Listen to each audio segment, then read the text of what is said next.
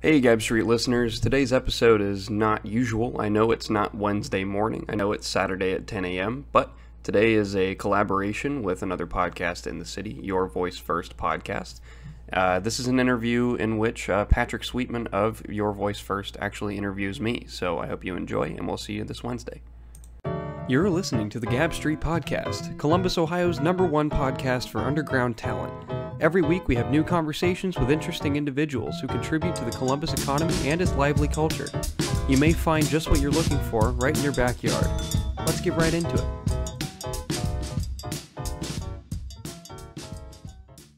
Welcome back to a collaboration between Your Voice First podcast and Gab Street Podcast. today we have Cory Leo. from the Gab Street podcast, as well as myself, Pat Sweetman from uh, Your Voice First podcast. The first question I have for you today, well, I guess before I put out the first question, the intention, um, I did want to bring this up, is connecting Columbus creatives to have a collaboration of the podcasts that are going on in Columbus. I think you and I are both on the same page that podcasts and audio content are very important for the stage of technology and the economy that Columbus is in. So connecting the people who are on podcasts are very important. Um, like you said, there's no competition; it's all collaboration. So without further ado, first question: What is Gab Street Podcast? We've got a lot of people here. No voice technology and artificial intelligence. What the heck is Gab Street? So, Gab Street Podcast is the best place to go if you feel like you're living in a city that you can't appreciate. Uh, that city specifically being Columbus. There are a lot of people that specifically I grew up around that have been living in Columbus all their lives, and they don't feel like they live in a place that's worth living in, that has cultural value. And uh, that's wrong.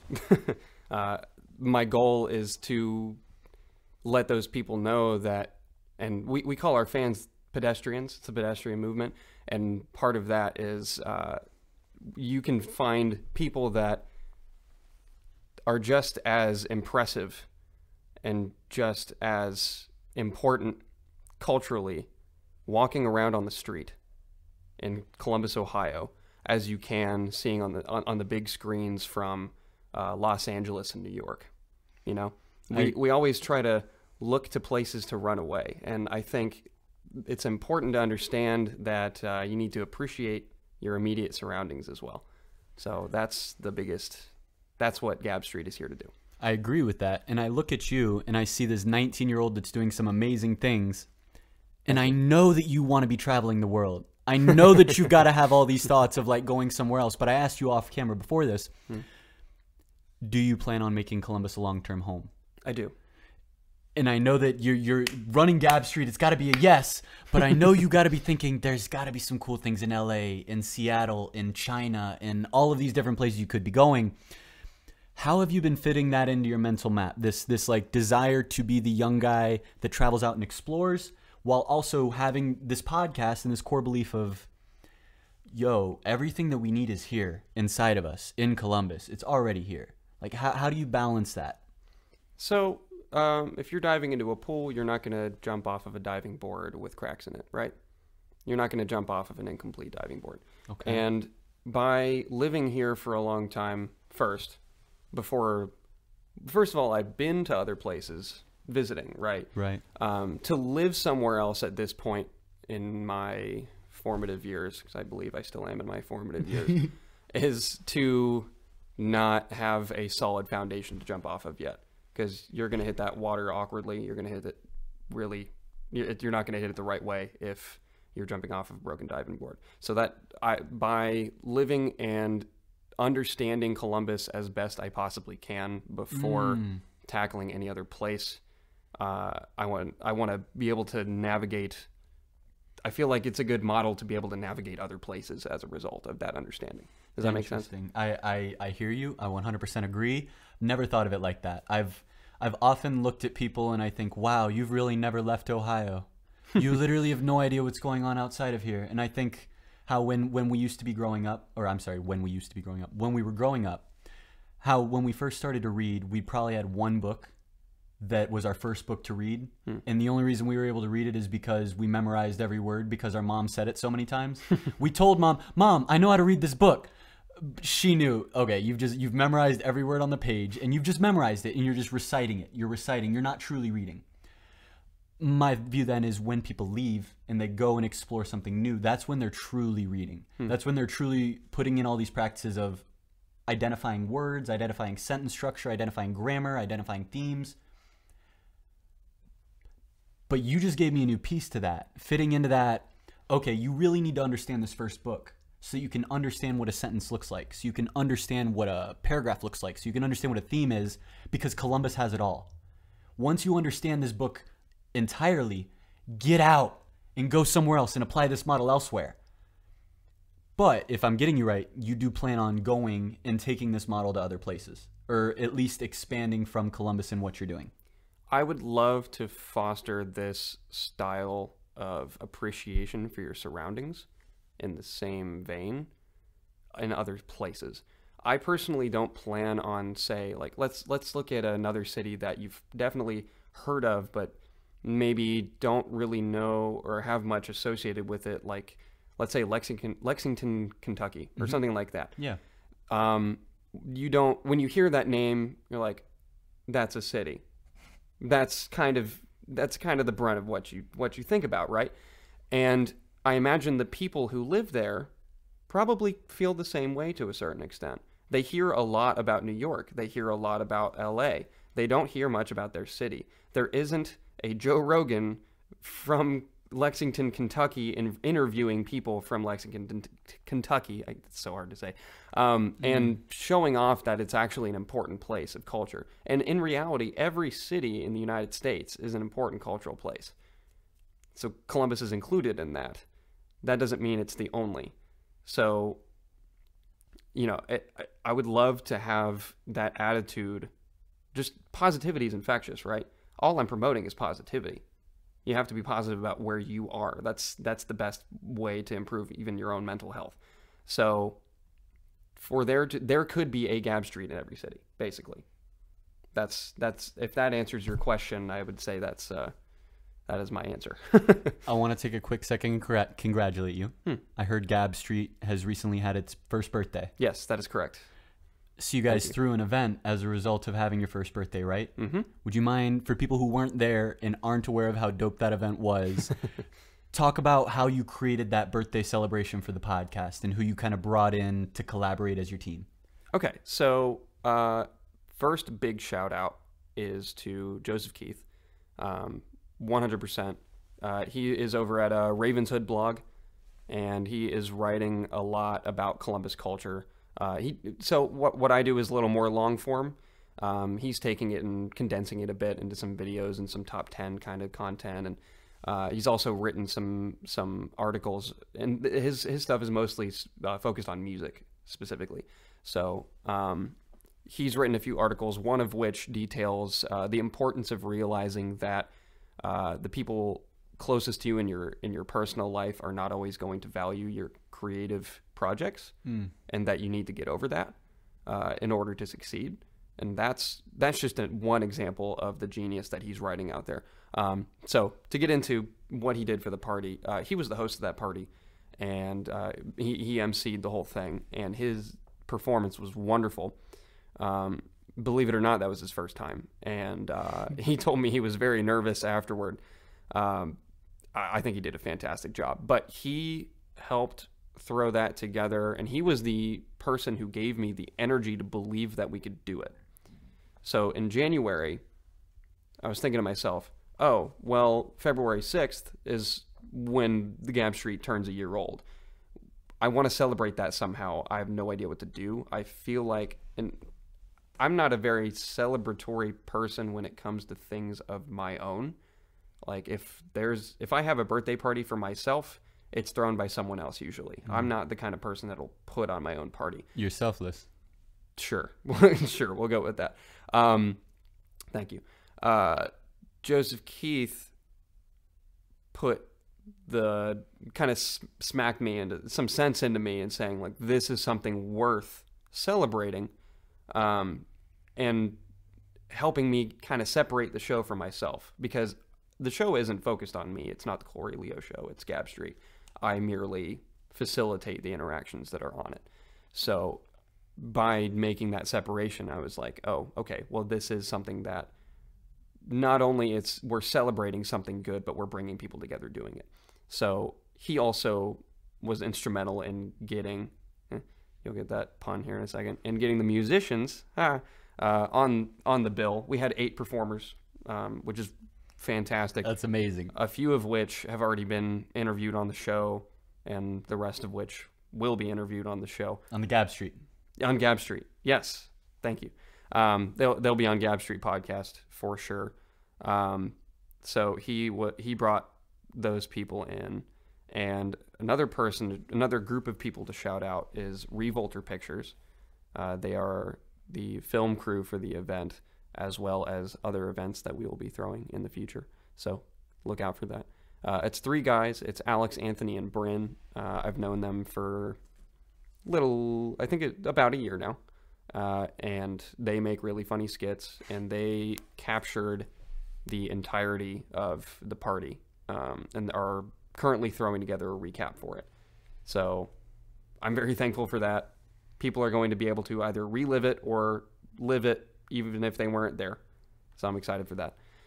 And so, by all those avenues, they knew some people in the film community. Joseph Keith knew people in the music community. The people that were performing on stage, their fans came out to the show.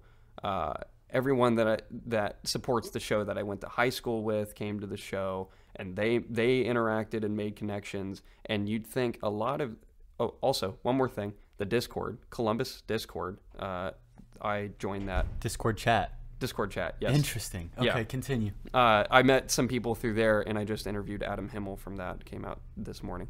Um, they have been wonderful and wel- welcoming, and they came out and supported as well. And the connections that happened during that party were between such vastly different groups of people that you would not imagine would ever interact and be kind to each other and and give each other things, you know. And uh, here's an example of a good interaction: is uh, there were, one of the raffle items at the party was a uh, half off discount for uh, full Revolter Pictures, you know, edit filming and editing job. Oh wow, that's major. Yeah, uh, they do a good job. So it was a pretty good prize. And someone in the audience who registered for it, probably not really knowing what they were getting into, won it. And because they had met and saw uh, Dollar Sign Asia perform, shout out Asia. Shout out Dollar Sign Asia. Oh yeah. Um, she ended up giving Asia that instead, uh, seeing that it would be in better hands at that point. Oh wow. Yeah. Asia, if you're listening to this, I hope you're leveraging that Revolter Pictures package to the fullest. That's a collaboration that'll go down in history. Oh yeah. We were talking earlier about this audio only and how Gab Street, when it first started, was only audio. Yes. At what point did you start adding a visual component to the podcast? So I'll give you a little bit of backstory first. Uh, we used to have a co-host that was on every episode named Gage, and he was with the show for about 22 episodes. Uh, and then he quit after that because his schedule got too hectic. And then it's just been, been me since then. But from episode 1 to 13, we were audio only. From 14 through 22, we were we were we had a visual component. Gage was the tech guy. I didn't really understand what was going on. He was doing a lot of it for me, which is sad to admit. And then he left. So I thought, I don't have, I, I need to rebuild what I'm going to do without him first. I need to kind of take a step back. I didn't want too many components that I had to throw together. Mm-hmm. Uh, so I eliminated the video portion until about episode 44. Uh, so that was 22 episodes uh, that we had only audio, and um, the audio, the video coming back has very clearly shown growth, but at the same time, it didn't seem as important to me during the audio only portion because we are still having a bit of growth, and I'm not a I'm not a visual person personally.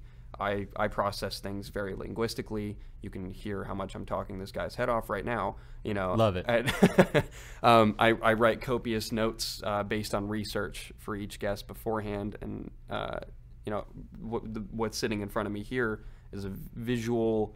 Uh, if I'm allowed to mention, if Please it's not do. a trade secret, Continue. um, The mind map. yes, the mind map. Um, while it is helpful to a lot of people, and I like the way it's organized, when I see arrows pointing to different things, it just doesn't register as well as just a long sentence describing the same connection. That's that just ends up working better for me. Mm-hmm. Uh, so I had a bunch of visual people telling me, "Hey, you need to bring this back any way you can." And my excuse was always, "Well, I don't have enough money for a camera or anything like that." And I was like, "You know what? I need this. I just like we're using today. I just put on my phone. Yeah. Yeah, and it Hey, ended phone. up hello phone. Uh, it works very well. Does it not? It works great. I, I'm, we're Yeah. running on the Google Pixel 3a right now. I love it. Yeah, it's. I mean, I have a Galaxy S8 right now, and it, it works great. Um, is a little grainy. Usually, people don't care about that really. So Well, from my perspective, I run a conversational AI company. We're here to build cool technology, and I'm trying to just capture a clip of space as our rocket ship is flying through it. I don't care how grainy it looks. I'm just trying to capture and send that stuff back to the oh, home planet. But that's us. You guys are entirely podcast. So I'm very curious of your views on the importance of audio versus video because at least on, on the voice first podcast side, a lot of the people that are listening to this are interested in Amazon Alexa and Google Assistant, and they're curious of voice only interactions, voice first interactions, and multimodal experiences. So, in your mind right now, is audio king? Where does like audio and visual fall in for you in terms of storytelling and brand presence? Well, obviously, you wouldn't want to watch just a silent video of some of two people sitting there talking, right? Agreed. Uh, so audio is automatically more important to me.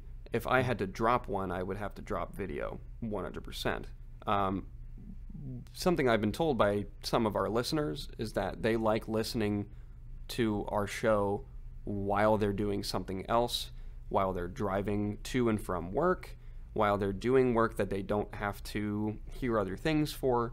So that aspect is important and having the choice to either sit there and pay attention fully to a video with audio or to be able to just play it in the background and still pick things up here and there you know i won't be offended if you don't hear every single word it's all right uh, Or if I- you're listening at double speed. yeah Like, exactly how many people have you had come up to you and be like, "Yo, you sound fire at double speed"? i've never heard that actually Really? yeah They're out there. If you're if you're out there listening to Gab Street and you haven't told him that you're listening at double speed, give this man a shout out and tell him how good he sounds at double speed. I know people are listening to me at double speed. I've got friends that tell me, and I can only imagine how because I already talk quickly. Hmm. I could only imagine how fast it sounds at double speed. We've gone down the whole Gab Street route. The next route I wanted to take is actually on our hometown of Columbus or the greater Ohio. Why is this the place to be? So the, the question I'm going to direct to you is it, I'm gonna prep the audience. Off camera, Gabe told me, "Hey, I've got a very." I'm, I'm so sorry. wow, Cory told me. What was it exactly you told me? You said Uh, my, my answer is gonna surprise you. yes So here's the question: Why is Columbus the place to be? So, the when you sent me the question, it said, uh, "Why is Columbus the perfect place to be?" Perfect place. And like I said, my answer is probably going to surprise you. Uh, it's it's not. Columbus is not the perfect place to be. Here is what Gab Street is trying to say with regards to Columbus. Columbus is a worthwhile place to be. Columbus, you already live here if you're listening to this, most likely. You don't need to put the resources into moving somewhere else and running away to somewhere that seems cooler in order to have a good time, in order to live somewhere with cultural diversity and value. And like I said earlier, Gab Street could be in any city. Mm-hmm. There, there could be a Gab Street style show in every single city in the United States. It's all about appreciating the positives of where you are. And one of the biggest things that dictate really success over American history in general is mobility. being able to I mean, for example, drive to work and back, or drive to school and back, or just get there somehow.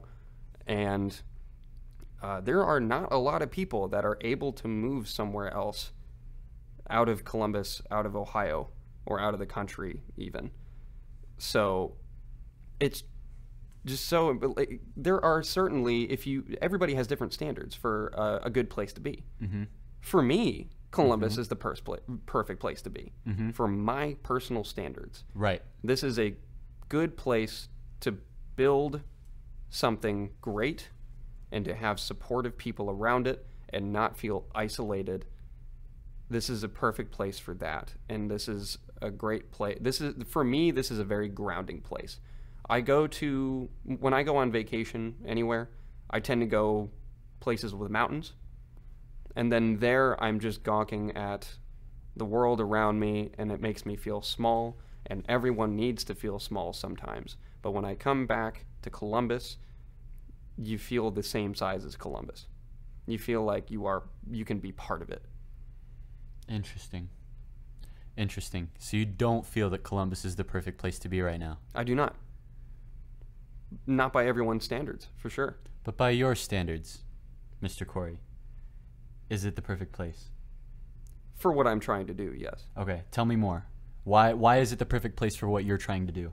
So the culture here is extremely welcoming. And one reason why that is is because when you think of Columbus, Ohio, if you're from another state, that isn't in the same caliber as Los Angeles and New York, where you go there to compete with everyone else and come out on top. So there, there's already a lack of that competitive idea when you come to this city. There's no reason to push anyone down because that's not what you're here to do.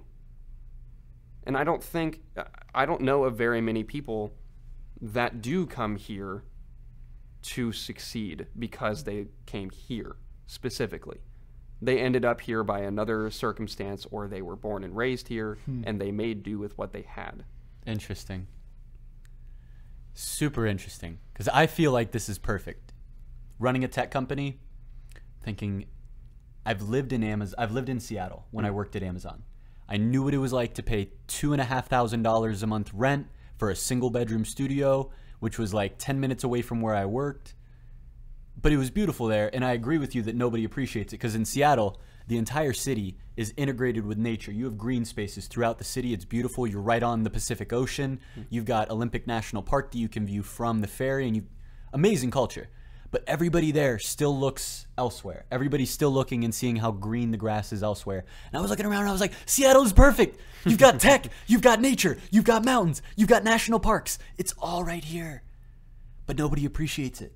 We're all looking somewhere else. And I, I think that's what gave me the knowledge to come back here and be like, bro, I'm paying like now I'm paying the exact same amount, two and a half thousand dollars a month, but instead of just getting a single bedroom apartment, I have a whole house with a backyard and a garage. Like my rent stretches me significantly further here in Columbus than it does in Seattle. And like for me, that's a major upside. Mm-hmm. We've got this entrepreneurial community, we've got this startup community, we've got these musicians which are hot.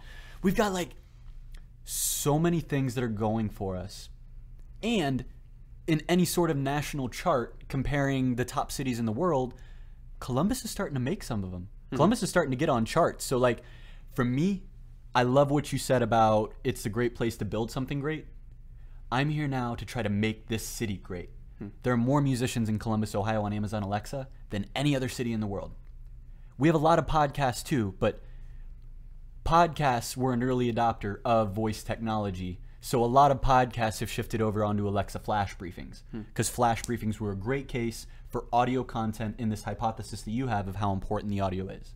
I agree with you. I think Columbus is a great place to be. I'll, in my vision of how I'm playing forward, I will take a month, like before the coronavirus came, hmm. we were expecting to take a month trip as a team to South Korea hmm. because that's the capital of Samsung, which is Bixby, because we've been wanting to do that. But then come back, go out for a month, take what we've done, do a research trip out there, get to experience it, but then come back to our home and bring all the lessons that we brought back home. I know you're you're 19, you've still got a long time to think about it, but you're also a business owner and a podcast host, and I can tell that you're a goal oriented man. In your vision of how Cory's Cory's life goes, are you thinking uh, grow your community here and then shift into a different part of the world where you kind of establish roots somewhere else? Or are you thinking more of kind of what I was saying of like experiences going out, but always coming back and making this kind of the long term anchor where you will always come back? I definitely see this as a long term anchor, for sure. Yeah, if I'm going to go somewhere else, I'm definitely coming back each time. Let's move on to who are the culture drivers that you've been seeing in Columbus. We mentioned Joseph Keith. We've mentioned Dollar Sign Asia. You're obviously collaborating with cool people like Sam Rothstein. Shout out Sam Rothstein Music, Dollar Sign Asia, everybody. You're interacting with a lot of the cool culture leaders. Being on this podcast of Voice First with listeners, not our biggest listener base for Voice First is Mountain View, California. Hmm. Anchor gives demographic reports, as you know, so it Yeah. breaks down the exact location. The highest listener base for Your Voice First podcast is the headquarters of Google in Mountain View, California, in Tesla, and some of the biggest tech companies. Way more listeners out there. But what I'm sharing with them and putting in their head is how cool and how many cool people are here in Columbus, Ohio. I'm curious of your views on who are those culture drivers? Who are the people that the rest of the world needs to start to be aware of? Or if we're here in Ohio, who are the people that we need to start putting our energy into to lift them up so that they can drive our city into the future? There are two categories of people that energy needs to be put into, for sure. Uh, the first category uh, is people that are creating things out of thin air, it seems, such as The magicians. Exactly. Such as Sam Rothstein, as we mentioned, such as Joseph Keith, such as people like Josh Miller and Cole Baker, who throw together 2 by 2 Hip Hop Fest, um, such as people like Adam Himmel, who I interviewed for the release this week, uh, which is March 11th. Um, he throws together a lot of stuff in Old North, uh, particularly Little Flea 614, uh, just bringing people, the people that bring people together. And then the second category of people that don't seem to be as focused on, but need to be, are the people that are the best to have as fans of anything. There are a few people I will note here that just siphon, siphon. They they, what's the word I'm looking for? They funnel so much positive energy into anything that they enjoy, and they are not afraid to say that they like things. It can be a little it's it's a little nerve wracking to say that you like something sometimes. Mm-hmm. You, you're afraid of being seen as something that you don't want to be seen as if it Being doesn't put in a box. exactly you don't want to be put in a box and these people are not afraid of that uh, the first couple that come off the top of my mind are alex johnson from uh, revolter pictures he is one of the biggest supporters of things that he likes i've seen uh, he just puts a lot of positive energy into things um, Interesting. and as well as YC Young Columbus. Uh, he is a per, uh, performer in Columbus, makes dope music with uh, the collective. The collective includes Adam Corwin, uh, DJ Harbinger, uh, King Bali, all those people. And YC has consistently been one of the best fans to have of anything. He creates his own stuff for sure. He, he makes the moves, but at the same time, if he's at your show, that show instantly jumped in energy by like six times at least. And that's young, Young Columbus or YC. young YC. Yes. Y underscore Columbus on Instagram. Almost like the promoters. It's almost sounding like uh, we've got magicians and promoters, Yes. if I can rename them Sure. into two buckets magicians and promoters. The magicians are the ones conducting things out of thin air, and then the promoters are the ones saying, Guys, do you see this guy making some cool things out of thin air? But let's make an important distinction as well. Per, uh, the word promoter can also be used for someone who likes to get money and then promote it out of financial reasons because they were paid by someone. They may not necessarily believe in what they're actually promoting. Mm-hmm. These people are also promoters, but they do it out of the love. They do it out of the appreciation because they already have that energy. So I think that is an important distinction to make. Agreed. I don't have another word for them, but uh, Yeah. this is me putting people into boxes like you were just saying not Ah. to.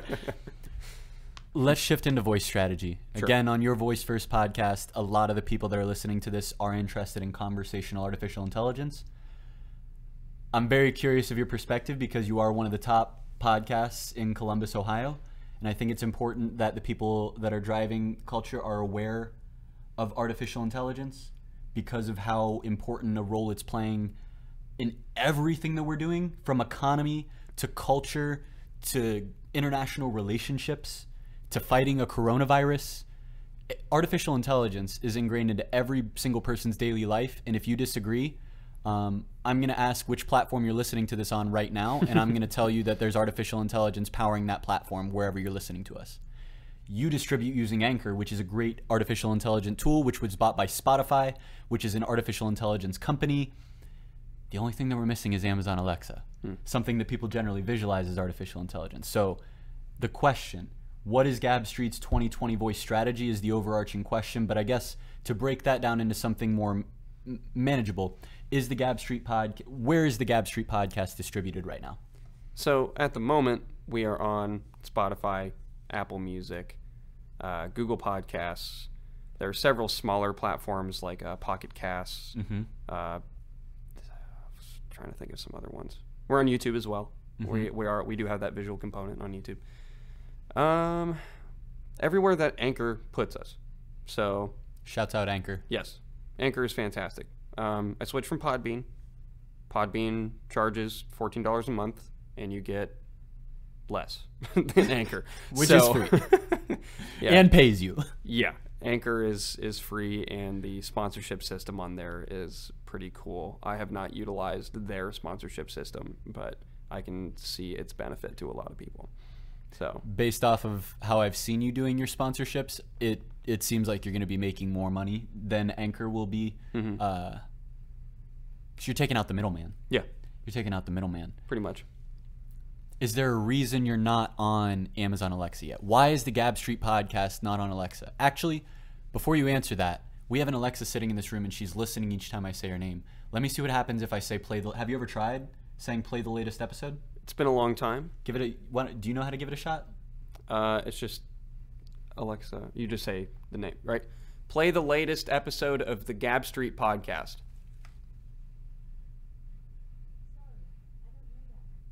You want to try again?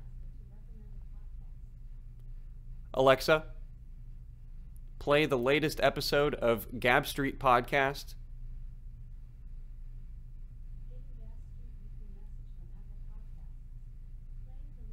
Oh, nope. Gas. Gas. That's Gas Street. Alexa, stop. Interesting. So, I didn't even know Apple Podcasts was on Alexa, so you just taught me something new while also hacking all of the listeners' devices. You're welcome.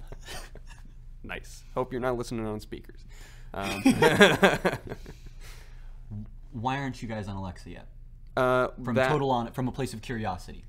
that option had not presented itself to us uh, saliently. Um, I had never seen it. I had no idea that I could.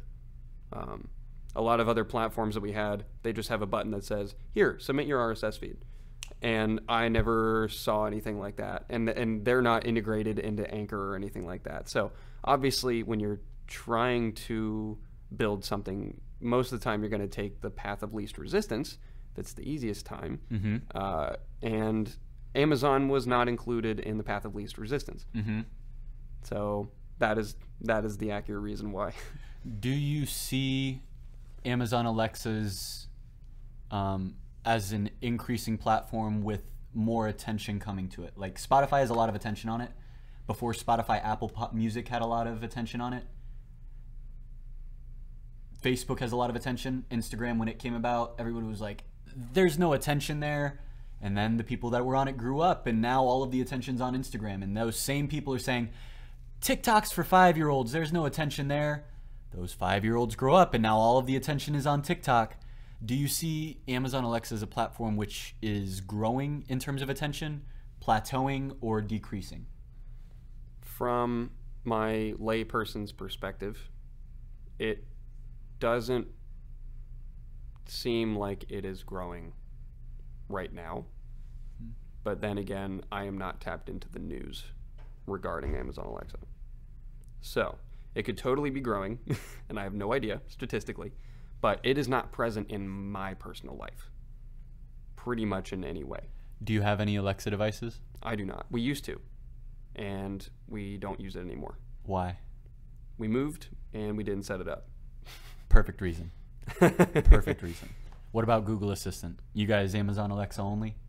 Um, if I use Google, it's if I use the assistant, it's through my phone. We don't have like a dedicated voice uh, apparatus. What about Bixby? The, you have a Samsung, right? Yes, What happened to Bixby? I have the Bixby button, and I disabled it because it's the button is in a, in a very awkward spot. Bixby, if you're listening to this, I'm out here trying, and I think it's just going to take more time and more uh, more people. We're getting there, Bixby. Now, however, however, I would be 100% open to being included on all of these platforms. Now, after hearing what I just said about them, they're probably not super open to that. But Alexa is just as simple as uh, iTunes. yeah, Sounds like the pipes are doing some background. you go onto their website, you click I want to set up a podcast, enter in your RSS feed, which Anchor provides for you. You type in an intro message that Alexa says for our. Alexa, what's in the news?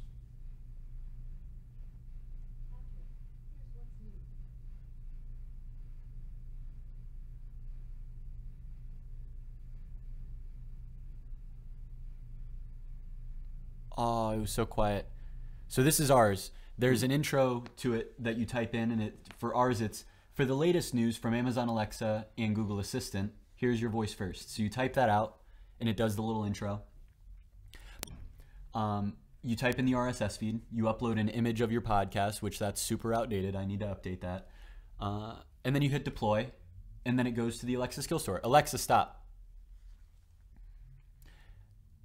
it with 614 startups we got them set up l- less than 15 minutes okay. like if you did this when we were off the po- off air it would take you no time whatsoever. And i would be totally fine with helping you get that set up because i th- i think more people just need to have it as a distribution channel. And then every time you add a new episode onto your anchor rss it'll automatically update on there. The only difference is you've now made it more accessible to another community. And how are people cur- I was surprised that your podcast didn't get launched there when you said it because I thought it would have pulled it up on Spotify, but for some reason it didn't.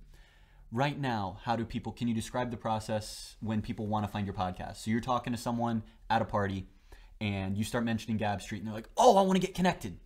How do they go then and, and get on the Gab Street podcast while you're talking to them at the party? So I have physical business cards with QR code on them with me. Okay. That has been the best way in person. Um, the best way to get people digitally to listen to it is through the Linktree that is in the bio on our Instagram. Instagram has been our primary promotional source, so that tends to work. And then all of our platforms are listed there. And you use QR codes. Yes. which is also a relatively new technology. I like that idea. Now, when people scan the QR code, do they go to your Linktree? Do they go to your Spotify? Where does the QR code redirect them to? The QR code goes directly to the Linktree. So Okay. Okay. So you then get to select whatever podcast streaming platform you'd like. Yes. So here is the card. It has the logo and everything, everything you need to know.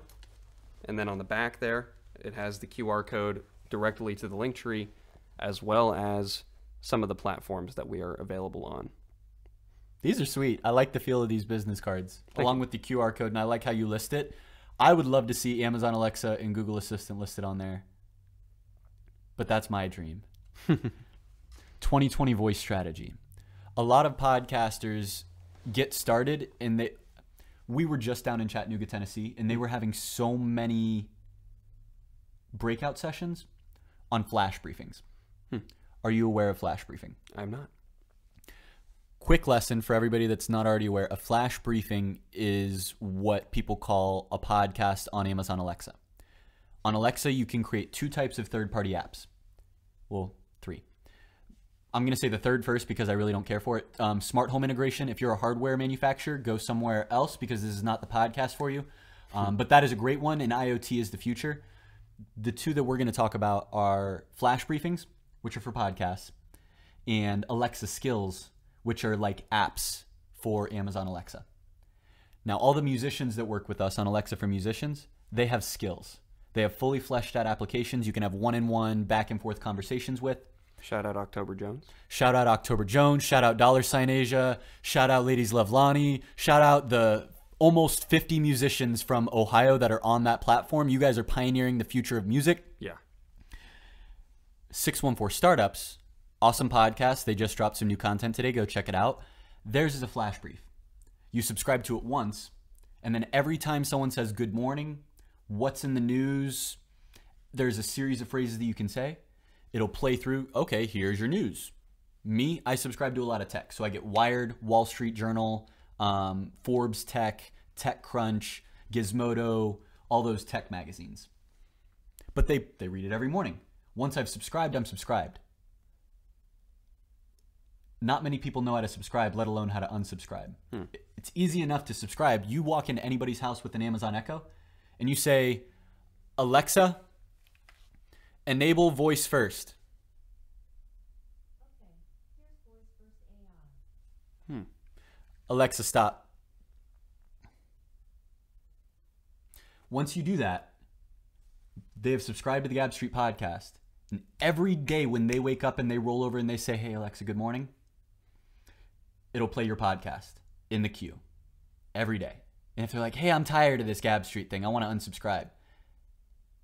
I'm not going to talk about it here, but the unsubscribe process is longer than that subscribe process, and most people won't do it. So if you're it, it's another platform to get subscribers on. Um, I'm realizing that I've been talking for a while, so I'm curious to shift the conversation back to you to hear. I actually have a question for yes, you. Yes, please. If you don't mind. Yeah, this How- this is both Gab Street and your voice first. So flip it back. How do you see analytics through that platform? They have a whole analytics dashboard for you. Okay. In terms of Anchor, the data shows up in the other category. Okay, I see. So all of that just shows up in other. Same with every all of the data that you that you give. Um, Good but know. they give us they give us data in terms of daily users. Most of the stuff that you get on Anchor, same on Alexa.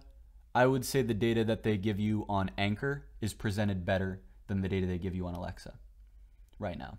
Okay. It's definitely a new platform, and um, it's artificial intelligence. I don't know. I, I, what are your thoughts on artificial intelligence? Have do you consider it much? Nineteen-year-old podcast and business owner out of Columbus, Ohio, shaping the culture here in Ohio.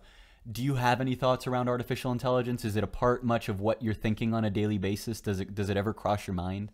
It doesn't cross my mind actively very much, but here's a fact about me I'm an avid Joe Rogan listener.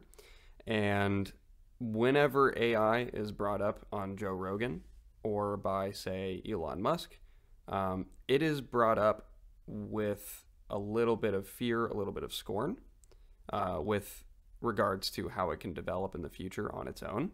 I personally am not too concerned about that. Uh, I think that maybe the scientists are a little, uh, little, little full of themselves and thinking they can create something like that.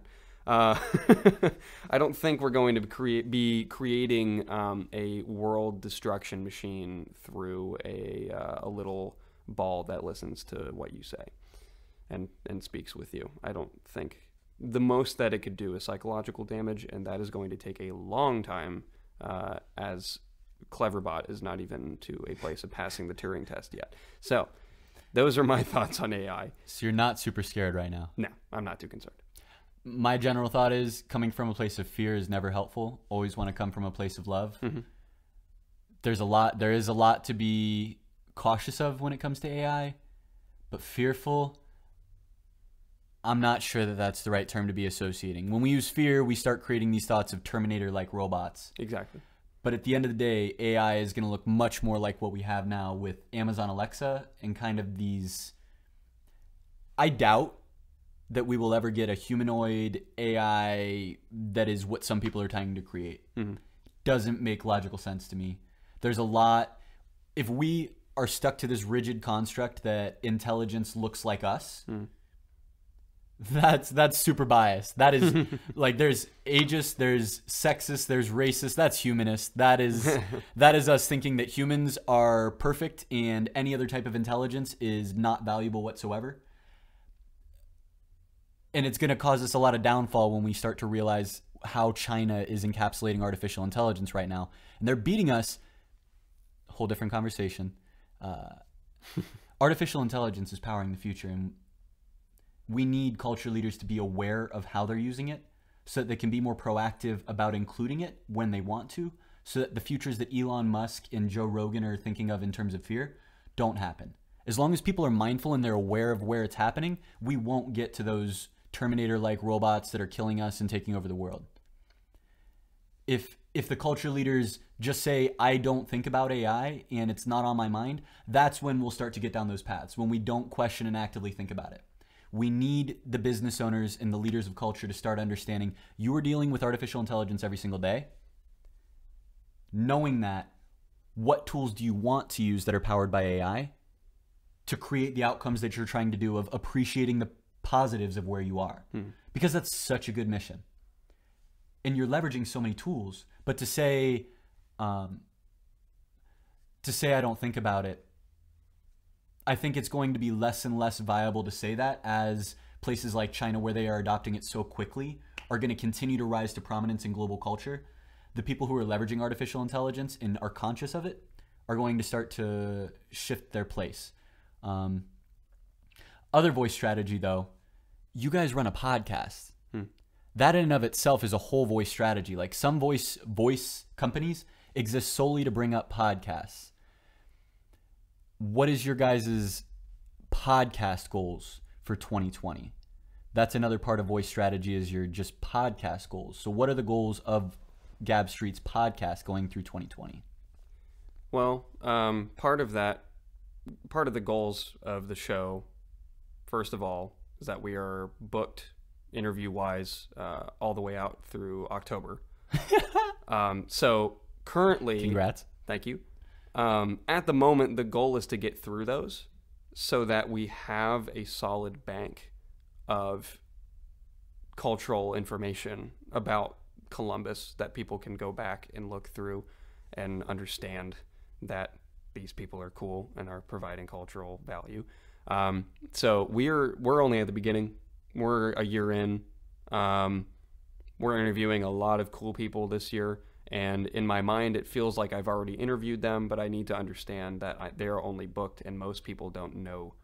In fact me and like two other people know the full schedule of who's going to be on the show. So that needs to happen first. The consistency needs to be there before and the consistency is already there. I need to continue that consistency and never miss a week. And after in 2021 is when the real goals are going to develop when higher goals than that are going to develop. But i need again i need to develop that diving board first. That's what i'm doing right now. I think you're right. The consistency is very important when it comes to any content especially when it comes to voice strategy and understanding this audio strategy.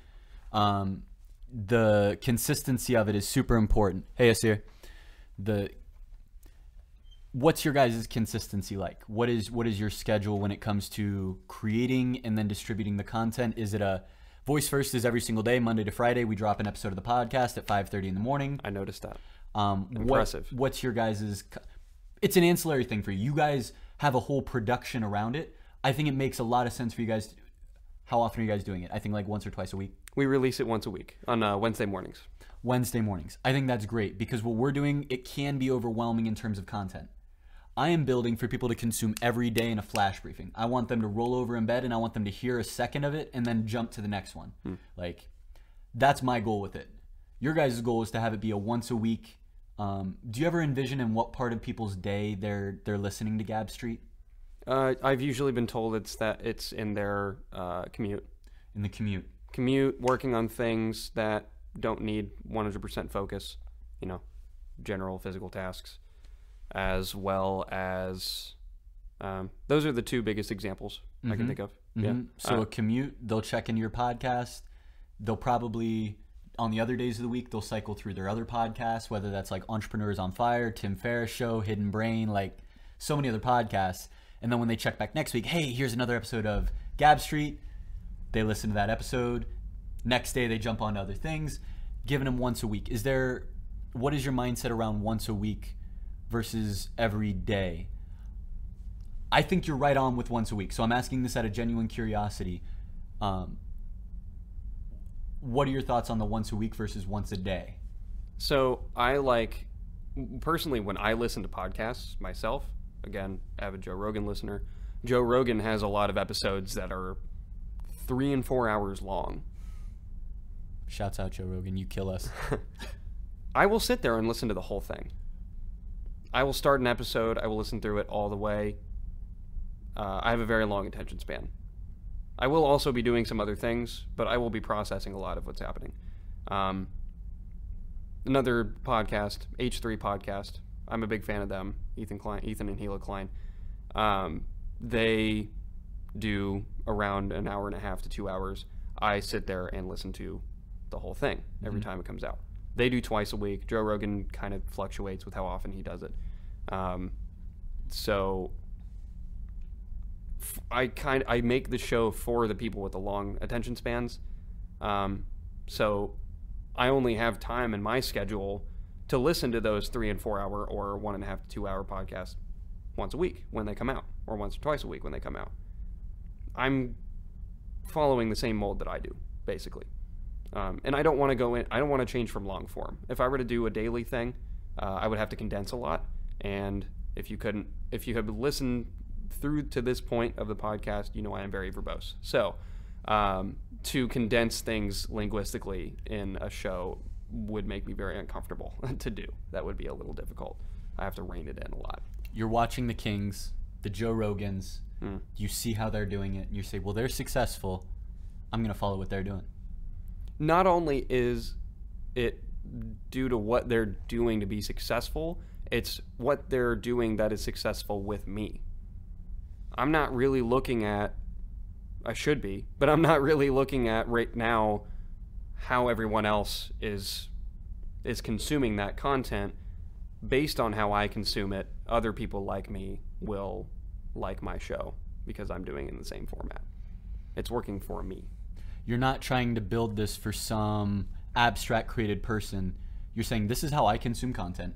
I know how I consume content, so I'm going to produce it expecting that other people that there are other people out there like me. Mm-hmm. And if there aren't, you know, I'm not looking for astronomical growth. If this show never reaches past, I don't know, let's say 500 listens in a in a in a week for each episode as they come out, I'm not really too concerned with that because the people that are listening so far, the people that have been listening to the show are so dedicated to not only sh- the show but the movement, and they come out to the events and they're there, and they and I interact with the people that listen to this show. I don't want a base of viewers and fans that's two million people and they're scattered around the world, and I don't interact with any of them Mm.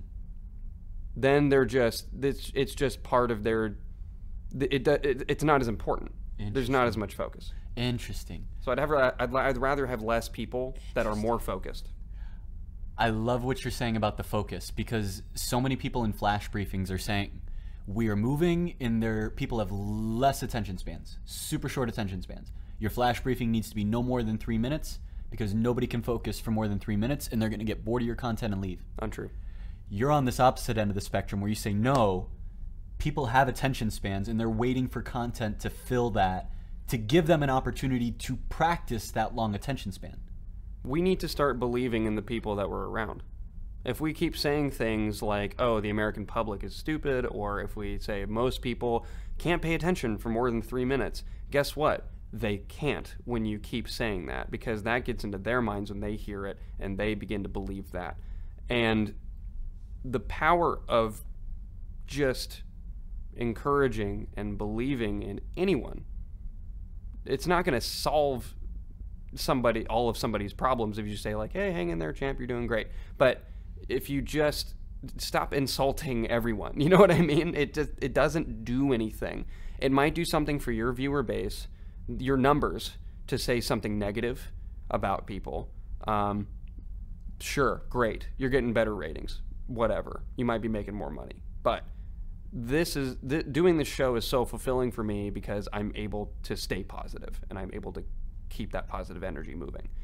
And everyone that's involved so far has come along with me, and sometimes it has changed the way that they process the world from a negative viewpoint to a positive viewpoint. So that's what I'm here to do. And it's also, as we might touch on soon, part of my professional career that I plan on going into. So I'm currently in college for uh, therapy, uh, well, psychology at the moment, and then moving on to more specialized education. I plan on being a therapist, uh, hopefully with a private practice and such. Tell me more about this. How how is the podcast? How do you see the podcast helping you develop into this therapist that you want to become? Have you seen um, any alignment between podcast and where you're trying to head in terms of therapy? Well, first of all, let's say you go into a therapist's office Mm-hmm. and you're telling the therapist your problems, and they have to uh, have you refresh them every five seconds or every five minutes or so uh, because they lost track and they are not paying attention very well. Um, that would suck, wouldn't it? You're like, oh, you're not listening to me. I'm not important. That's to you where my whatsoever. yep. So, w- first of all, this experience with podcasting and recording an, an interview with people that I genuinely respect and people that I may not have known before I did the interview as well is just practicing that focus and that giving respect in the moment. Because nothing is like feeling like you're heard and feeling like you're appreciated and respected in order to make you feel better about yourself. Because I, a lot of times before I start the show, I'll go, "Hey, this is the place to plug. This is the, pl- the place to be, to, to show off. This is this is the place to be kind of narcissistic. You know, I need you to do that. I need you to believe in yourself, even if you don't, for an hour and a half, two hours." and uh, usually they start off a little like, eh, I don't want to, I don't want to like say I'm great or anything. You know, I, I'm not doing anything cool. And I'm like, well, okay, you're here to do that. You are great. You're here for a reason, you know. And that I don't say that. They end up picking up on that as they go on. I don't have to say anything like that. They start to, as I'm asking questions, get into that mindset of bragging a little bit more because we all could use a little bragging. You know what I mean? We all need a cheerleader. We all need someone out there helping us and hyping us. I'm very intrigued by this concept of giving people this longer form content. I'm with you. I don't chop my content up. I, I keep it as however long we do it. We'll have musicians. For me, long content is like 30 minutes of a musician. And I'm always thinking that is nobody's going to listen to the full 30 minutes. How long's an episode of Gab Street? Usually an hour and a half. an hour and a half or two hours long. Do we have any data in Anchor that shows how long people stay into an episode? Not in Anchor, but in YouTube. Interesting. How have you seen that data in YouTube? How have you seen, if you're open to talking about it, how have you seen that data reflect people's attention spans? So generally, I'm happy if I get somebody tuning in for 10 to 15 minutes of an episode. Mhm. I'm cool with that. Different people will listen to different clips over time. And they'll see, and a lot of the times it'll be someone that's already a fan of them too. So, and that'll enable them, them to listen longer as well. But um, that has also been growing over time in uh, the retention of attention over the episodes. You've, you've seen that attention growing. Yes. I'm very curious if you've been helping to strengthen that muscle for people. If the fact that you're putting out content that's that long consistently has allowed people to strengthen that muscle. Do you have any thoughts around growing people's attention? Is that is that a goal of yours? I would Ting- like to. Yeah. I think everybody could benefit from a longer attention span. And I think there is value in starting from where you are and not where you want to be. Mhm. In that, yes, there are people with short attention spans. It's not everyone, but these people exist. There also needs to be content for them, but at the same time, long form content should be there to help them exercise that. You bring very good energy onto the show. I'm trying to think if there's anything that we've missed before giving you a chance to plug in all the Gab Street. Hmm. You think anything? I don't think so. I think we're all right. For people who don't already know and aren't already connected with Gab Street, what's the best way for people to start following along with Gab Street and uh, get connected with you? Follow us on Instagram at Gab Street Podcast. All that, everything spelled out. If you would like to book an interview with us, if you would like to sponsor us, our email is gabstpodcast at gmail.com. Always feel free to hit us up there. Hit us up in the DM. Always open. Um, we'll be getting a website soon. And follow, find us on YouTube. But the best way to find all the platforms that you listen to uh, podcasts through is to find the Linktree in our Instagram bio uh, that has our Spotify, our YouTube, our Google Podcast, our Apple Music. Uh, that also has all of the other things you need to know, such as our mailing list, where you receive ahead of everyone else uh, the next two guests uh, that will be on the show uh, through that email list. Yeah. So- Early access to content. Exactly. And if you support us on Patreon, you do get access to episodes before they release. So that's also a benefit.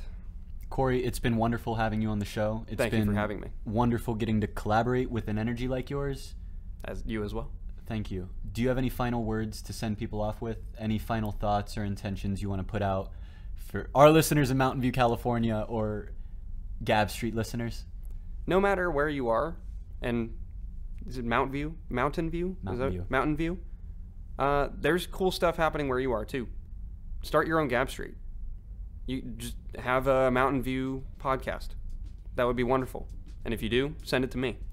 I want to learn about what's going on there. For real. So always try and appreciate where you already are. I think that's the best thing to do for your mental health and for the people around you.